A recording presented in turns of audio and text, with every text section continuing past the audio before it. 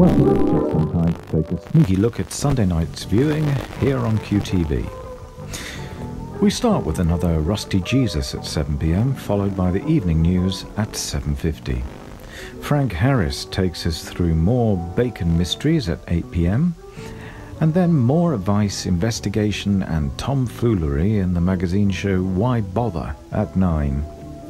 Sunday Night at the Movies presents The Nibblers, a British classic from 1947 following the lost loves and tribulations of a boat building community in Tenby. And that concludes Sunday night's lineup.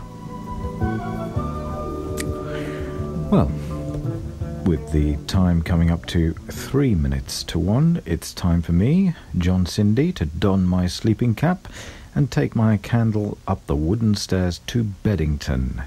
So, from all of us here at QTV, have a very peaceful night. Good night.